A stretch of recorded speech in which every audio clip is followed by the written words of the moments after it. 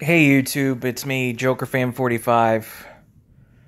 Um, I wanted to uh, give my quick thoughts on uh, this uproar on this new Thomas Global spinoff.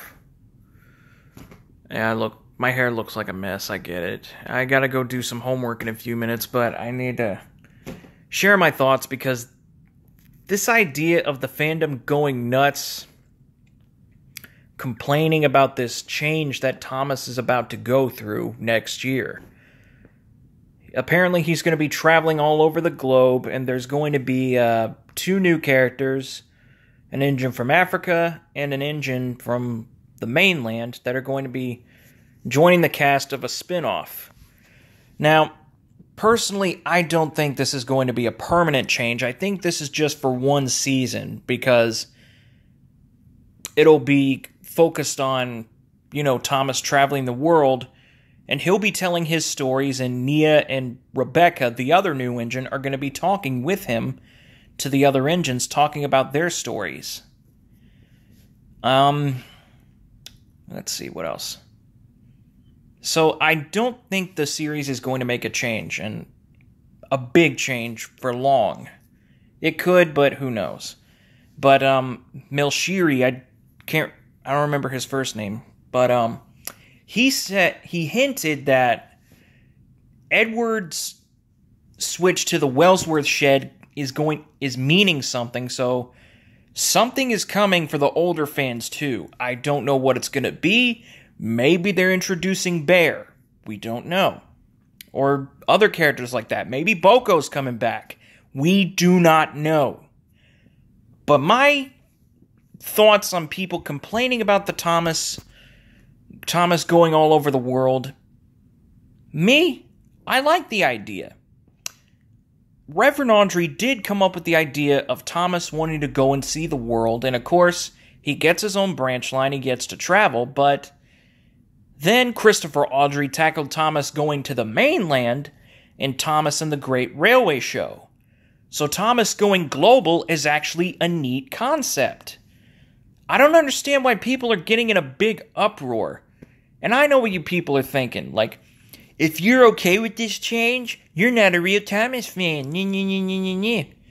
I know the unlucky Tug complained about the uh, spinoff, and you know what? That's his opinion. I'm not going to judge.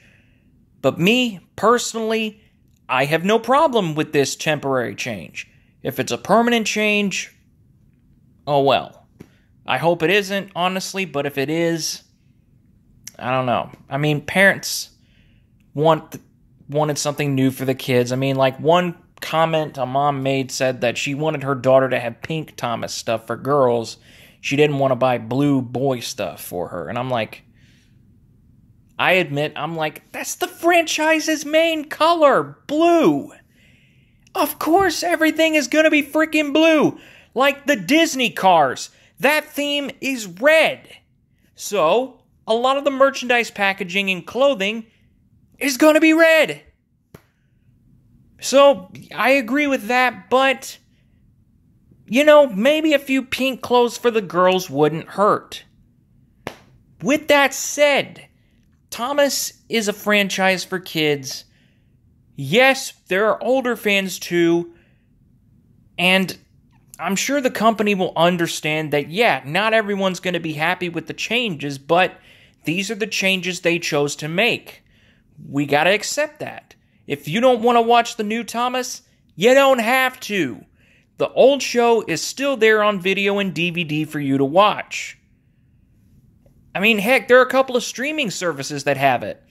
Amazon Prime has the classic series for people in the US. I don't know about the UK, maybe they do.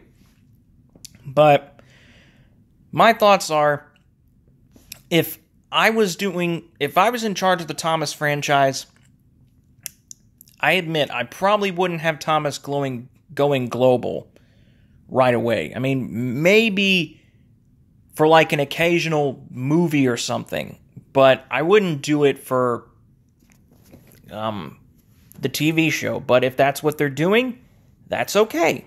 I have no problem with it. I'm I am a Thomas fan, but I'm not a Thomas fan that likes to complain. Now, if you have a problem with the new series, hey, that's your opinion.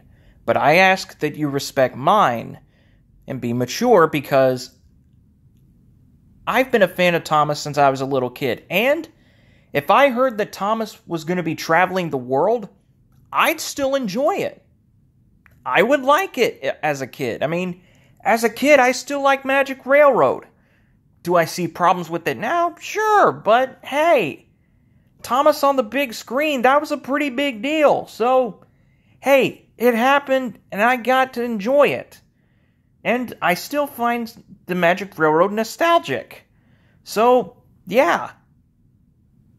I just wish people would stop complaining and just enjoy the franchise for what it is. And me, I'm going to give the show a chance and see where it goes.